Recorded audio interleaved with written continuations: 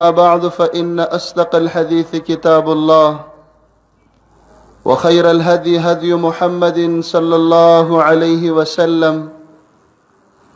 وشر الأمور محدثاتها وكل محدثة بدعة وكل بدعة ضلالة وكل ضلالة في النار أعوذ بالله السميع العليم من الشيطان الرجيم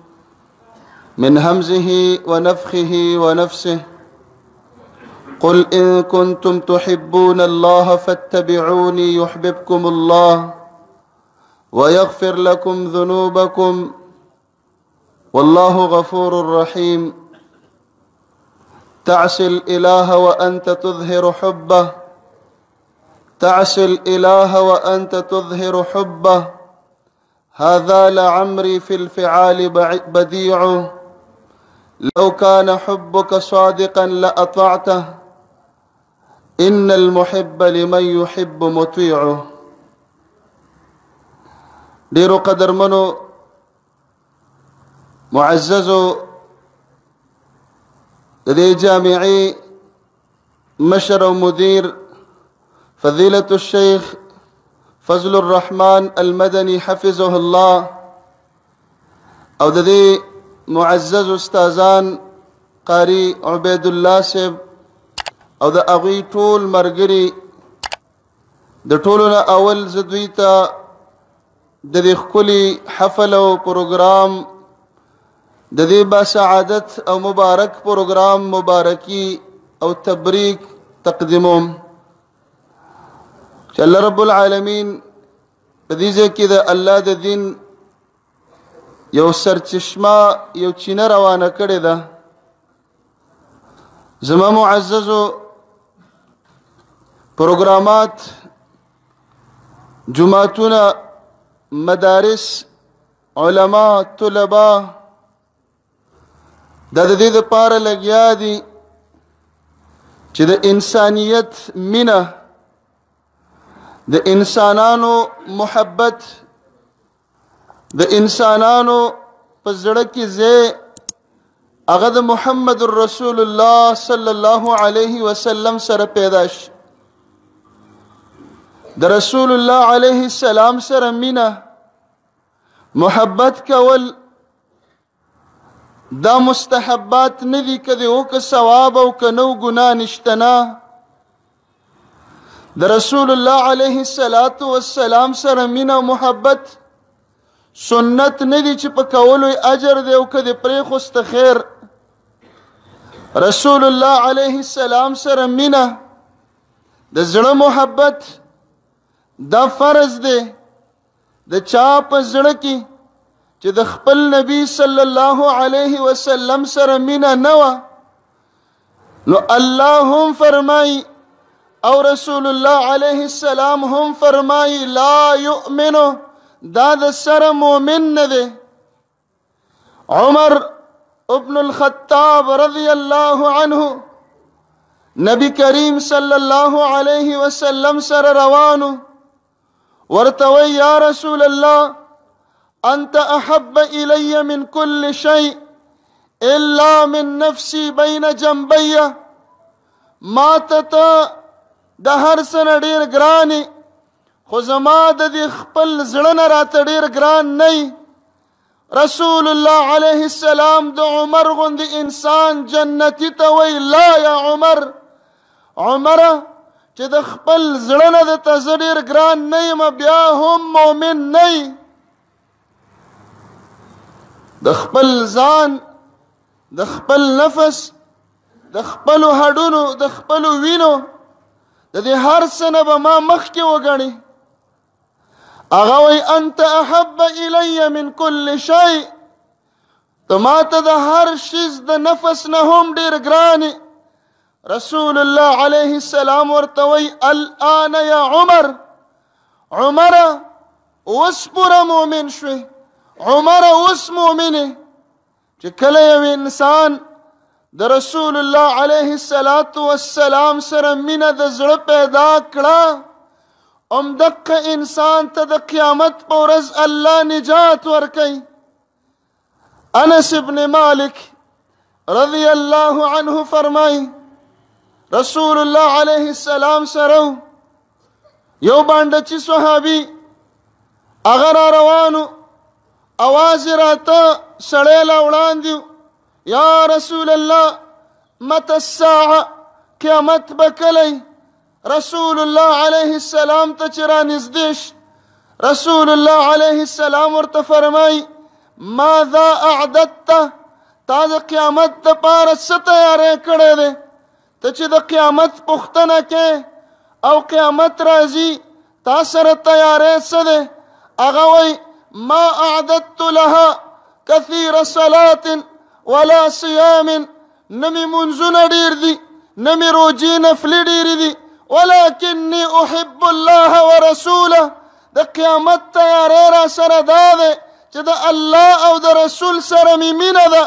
بس دا د زړه محبت د زړه لګاو د زړه تعلق دا مې د الله او د رسول سره شته رسول الله عليه السلام ورته فرمای انت مع من احببت د قیامت په ورځ د دې مینې د وجې نه چې د چا سره ستا مینه ده د رسول الله علیه السلام سره به راپاسې او د هغه سره به یو ځای مینه محبت ویسته یو زمونږ استاسو مینه ده مخ د زمکه چې څومره د کلمې ویون کې دی لا اله الا الله محمد رسول الله نو چې د هر مسلمان نه تاسو کې او هغه مسلمان چې په کال کې هم دی قبله ته مخ نه راړی بالمازه یو غل یو شرابي یو قاتل نه هم ته پوسوکا په خله به دا اقرار کوي چې زما د نبی صلی الله علیه وسلم سره مینه ده خوګ نبی علیه السلام وای زار دې د خواګه نه من شم دا وای سترګو له لاسونه وړي دا وای د هغه مسلمانم دا اقرار کوي چې هغه خپل نبی نه پیژني خو آیا دا محبت دی کنه دا د ته نجات ورکي کنه دا مینه نه ده دا محبت نه ده دا د خلی دعوه ده ولې د رسول الله عليه السلام سره مینه دا ده محبت دا دی چې د هغه د امر د هغه د فرمان د هغه د وینا د حدیث مطابق په ځان او ژوند کردار گفتار منځونه عبادتونه دا به جوړ کې نو بیا ستا د مینې دعوه رښتینې ده او که یو سړی د خپل نبی علی السلام سنت په مخ نه پریدي او ایزار د خواګه نامه نشم په دې ټي وي باندې دا ناتخوانان راځي ناتونه وای نات رسول مقبول به پیش کې پلان کې سیب هغه فلان کې د نبی علی السلام نات پیش کړي د نبی علی السلام سره د محبت پروګرامي خونه په مخ باندې ګیری پنسي په خپو کې پرتی د مونږ نه نه خبرې نو دا مینه کاذبه ده دا دروغجنه مینه ده دا د رسول الله علیه السلام سره اصلي محبت نه ده د رسول الله علیه السلام سره مینه دا ده چې دا هغه امر راغې فورا به په عمل کې دا به نه وي چې زما عقل نه مني مینه دې ته نه وي چې په خوله مینه زما او ستا عقل او د ټولې دنیا عقل زما او ستا نظر او د ټولې دنیا نظر زما او ستا سوچ او د ټولې دنیا سوچ زما او ستا رواج او د ټولې دنیا رواج دا عقل دا سوچ دا نظر دا رواج د نبی د سنتو نه به قربان کې علمینه ده په غم کې د نبی سنت ماتیږي د نبی طریقه ماتیږي او مینه مې ده زه تاسو ته مثال درکوم جنازه وشي د جنازې نه پس خلک بیا د کټ په خوا کې دیره او حلقه جوړي او سوي دومره ځل قل هو او دومره ځل اللهم صل درود شریف وای او بیا دعا کوي جنازه پرته ده کټ پروت ته او جنازه وشول او بیا حلقه جوړ شو راځي د عمل ګورو مینا خو دې ته وای چې زما اوستا غم مړې دا به د نبی په طریقې د رسول الله علیه السلام په ژوند کې وفاتونه شوي مړی شوي زنانه وفات شوي وي د هغه خپلې نوڼه وفات وي خو چرته د نبی علی السلام او د صحابه په نقشه او ډانچه کې دا نشته چې پس د جنازې نه د کټ سره حلقه او د رد دعا د پاره او یا د سخات د پاره جوړه شوی یوازې د خلی مینه خو نه ده کنه امام مالک رحمت الله علیه ته یو شړی راځي او په دې حدیث باندې من دا په خپل مشغو کې پو خولي کو د ځان سره دا دا قول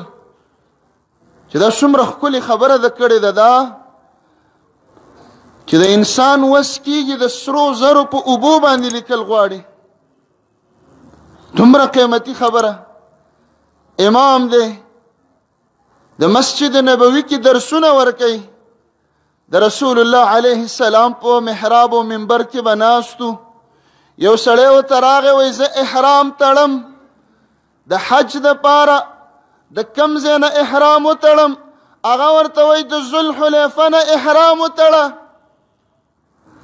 دا د مدینه منورې والاو د پاره میقات ته اوس ته ابیار علی وای دلته نه می تړه د جمعات نه چې راوځي مزل به وکي یو څو ملټه دا علاقه براش نو هغه سړی وای چې نه زه احرام د نبی کریم صلی الله علیه وسلم د قبر او روزې نه تړم ولی ابیار علی او ذوالحلیفه لري ده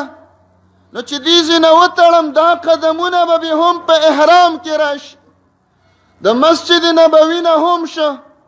د قبر د رسول الله د خوانه هم شه نو امام مالک ورته وای چې د جمعات نه د قبر رسول له د روزه رسول له به احرام نه تړي اني اخشى عليك الفتنه ما سره یره د چې الله به تا فتنه کې واچي اي فتنه في هذه دې کې فتنه ستوي خو یو څو قدمونه به زیات شي یو څو میله مزل به زیات وکم د جماعت د نبی د قبر د نبی نه به احرام وتړم هغه ورته وای نه فتنه کې ځکه واقع کیږي چې رسول الله علیه السلام او صحابه هغوی به احرام د ذوالحلیفه نه تړه د نبی طریقه په احرام کې مدینی والاو د پاره ذل حلیفه او ته د قبر د رسول الله او د جماعت مسجد نبوی نه احرام تړي نو ستا خدا مقصد دی چې دا د اجر کار نبی علی السلام ته نو معلوم او تا ته معلوم شي ظاهره کې دا کار ډېر ښه معلومې ده خو د نبی طریقه پکې ماتې دله نقشه ماتې دله ډېر خلک د نبی علی السلام سره د مینې موږ دعوام کو چې ورته وای چې پس د سنتو نه په جمع دعا مکه وای بدعت ته وای خیر دې څه چل کیږي څه چل کیږي د اذان نمخ کې الصلات والسلام عليك يا رسول الله موایا وای څه چل کیږي دا خو درود شریف ته زما معززو امام د تابعین سردار سعید ابن المسیب رحمه الله هغه یو سړی ولید د سار مانځه پسې ودرېده جمع چې وشوه نور نو راختلی نفلونه کول ورته وایي ای فلان کیه د سار مانځه نه پس چې نور لا نه دی راختلی اشراق نه دی شوی نفلونه مه کوه نو هغه سړی ورته وای خیر دې کنه مونږ کومه شریعت ولې د مونږ نه منې کوي دا خو مونږ دې نفلونه کوم ته خلق د مانځنه منې کوي لکه مونږ ته خلق وای تاسو دعا نه منئ تاسو خیرات نه منئ تاسو درود شریف نه منئ د سعید ابن المسیب ورته وای چې نه د مانزه خبره نه ده چې تا یا زه د مانزه نه منې کوم زه تا ته دا وایم چې تا د رسول الله د سنتو خلاف که هغه ویلی دي چې د سار مانزه نه پس نور خاتنه مخکې نفلونه بند دي په دې امت منځ دې کنه څه چلوش عبادت دې کنه څه چلوش بندگی دې څه چلوش بدعات په دین کې ایجادات دا د نبی سره دښمنی ده مینه نه ده زمونږ استاسو په دې وطن کې عید میلاد النبی د رسول الله عليه السلام په پیدایش خوشحالي مناوول د ربيع الاول په میاشت کې په دولسم تاریخ بار باندې اوس ډیر خلک دا وایي چې څه چل دی د نبی علی السلام صفاتونه کو ناتونه وایو تلاوتونه کو دا خو دینی پروګرامات څه چلوش زما معزز د رسول الله علیه السلام په پیدایش نوم مسلمان خوشاله دی چې د اسلام د احکامو نه پوره خبر نه یا غبم په خوشاله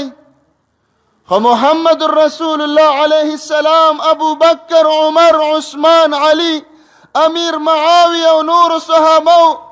رضی الله عنهم اغوی په ژوند کې د رسول الله عید میلاد النبی جشن عید میلاد النبی نه ده مناو کړي که چا مناو ک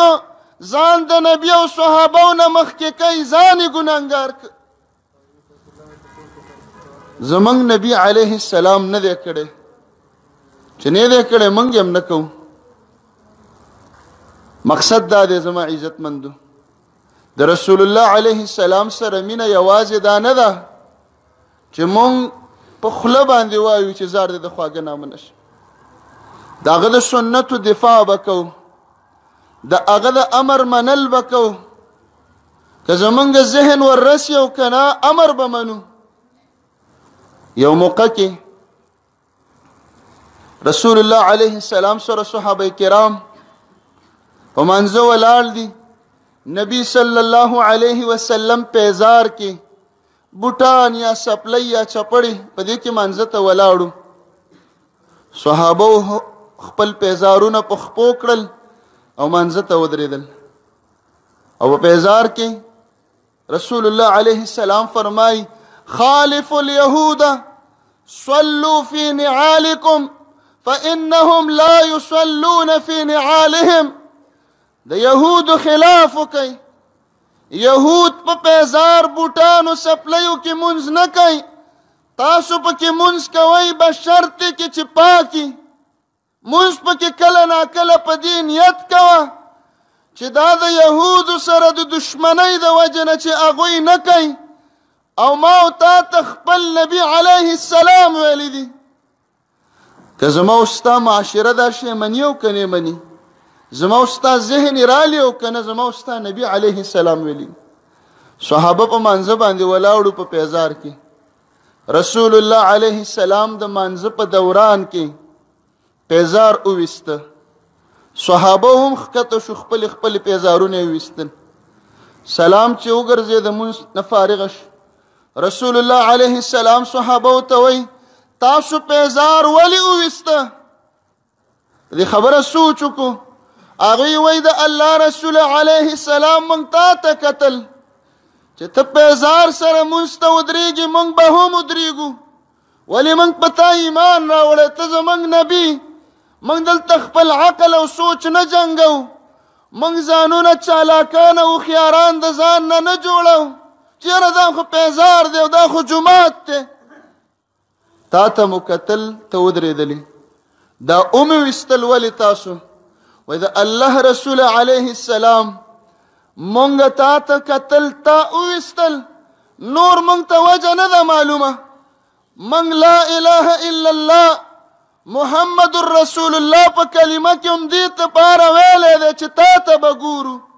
چې ته څنګه قدم اوچته مونږ به هغه شان قدم اوچته نو رسول الله عليه السلام ورته فرمای ما خو په زار زکه اوست چې جبريل عليه السلام راغه او راته وی ویلي چې ستا په دې پیزار کې ګند یا ناولتوب دې دا وباسه ځکه چې ګندې بیا وسره مونږ نه کیږي ما اوست خو د صحابو پیزار خو پاکو خو هغه د خپل نبی د ستابیداری و د تبه قتل چې دا پیزار اچي اچو به سوچ نه کوي دلته د سينه وای چې ورګه زما عقل نه رالي نبی وباسي دوی به مباسي نن ما وتا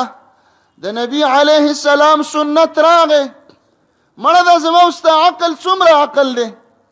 ډیر سنت من په دی واپس کړ چې زما عقل نه مني زما معاشره نه مني زما رواج نه مني صحابه کرامو د رسول الله د سنت په باره کې عقل د سره نه توجه نه ورکول نبی ته قتل په یو بل موقع کې یو صحابي په لاس باندې سرو زرو ګوتمه ده ګوتمه سره دي رسول الله علیه السلام د هغه لاس رانیسي او دا ګوتمه ترې راوباسي او غورځوي یعمد احدکم الی جمرة من نار وګوره لاس کې د اور سکروټه چولې ده ولی سره زر د دې امت په سړو حرام دي هغه ته وګرځول زما معززو مجلس چې تیر شي ختم شي خلک پاسېدل نور مرګري دي صحابي ته وای چې دا سره راواله او دا به کور ته یو څه زنانه لبه ورکې هغه له جایز دي خرڅ به کې جایز دي صرف د سړی د پاره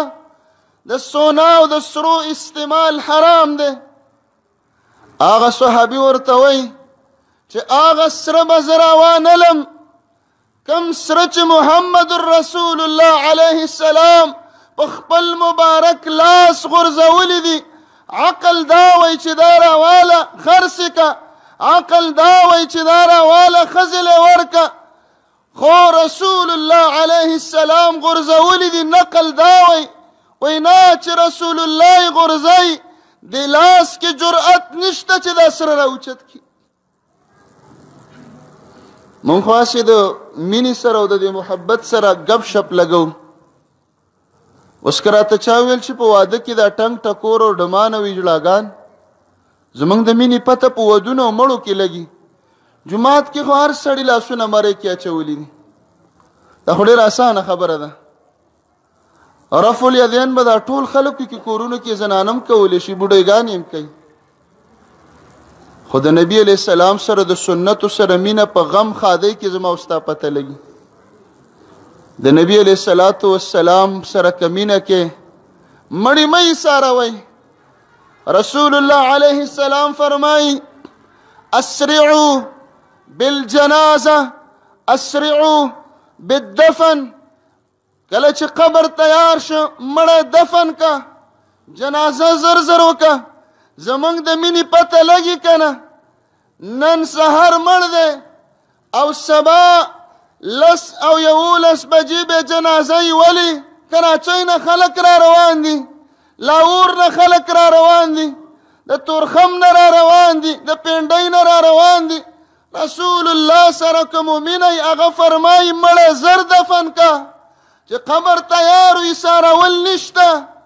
زمنګ د نبی سره د مینې پته د قضې کې بیا ولې اې دا تابوتونه څومره عام دي کومنګ بیانو خلکو ته د شي معمولی خبره مخکاري چې وړه څه چل کیږي هر څوک مړی ته تابوت ور کوي تابوت خو د هغه مړی د پاره چې هغه ټوټه ټوټه دی هغه د بدن نه سره روان دي مونږ ټول لګیا یو د سنتو دعوه کو د نبی سره د مینې دعوه کو دا تابوت په زرګونه نه په سل روپۍ شه دا سل روپۍ ته ولې ضایع کې ولې خاورو ته غورځې سید الشهدا امیر حمزه رضی الله عنه د شهیدانو سردارو د رسول الله علیه السلام تر ټوټه ټوټه شپوحت کې نور شهیدان نور هغه ډېر معزز ترکانانو لرګیو پوی خلکو خو هغه هستی صحابه شهیدان د الله اولیاء هغه په تابوتونو کې نه دفن کول د نبی علیه الصلاۃ والسلام سره رښتینی مینه وو د زړونو هغه مینه او هغه محبت چې هغه اوریجنل مینه چې د نبی علیه الصلاۃ والسلام حکم راش د نبی صلی الله علیه وسلم وینا راش فورا عملی عقل ته ونګورو معاشره ته ونګورو رواج ته ونګورو معاشره رواج پیر او مولا مذهب او تنظیم او پارټي او ډله دا به د سنتو د پاره قربانو خو ګوره سنت به د چا د پاره نه قربانو دقه به مینه او که د پالټۍ د پاره چیرې زمونږ پالټي په دې خپه کی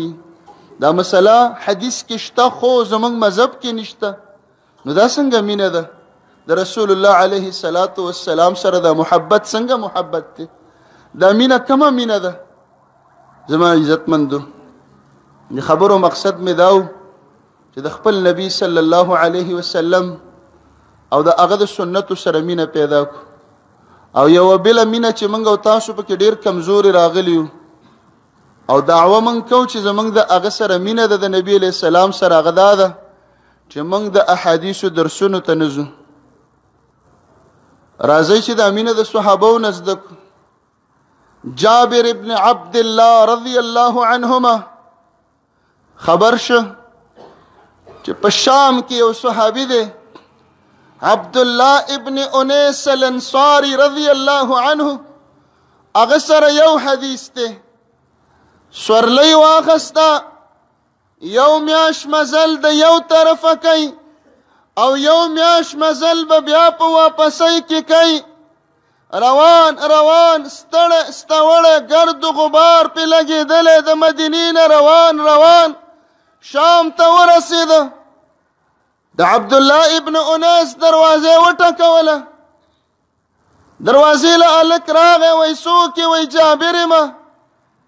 هغه ورزي عبد الله ابن انیس صحابي ته وای چې جابر رضی الله عنه بهر ولاړ دی ابلم صحابي عبد الله ابن انیس هغه په منډه راغې او را منډه کړله اوغدلې غاړه ورکړه ورته وای څنګه رالی د مدینې نه شام ته وای حدیث سمعته من رسول الله دا دو میاشتې مزل ما د یو حدیث د پاره کړی دی چې تا د رسول الله علیه السلام نه اورېدلی دی زه تاله رالم شام ته ولې دوه میاشتې مزل اسې نه چې یا ته مړ شې یا زه مړ شم او د رسول الله د دې یو حدیث نه محرومه پاتې شم راځئ که دا مینه رښتینې کول غواړو په هر جماعت او هر علاقه کې درس حدیث کېږي هغې ته کینو هغې ته اهتمام ورکو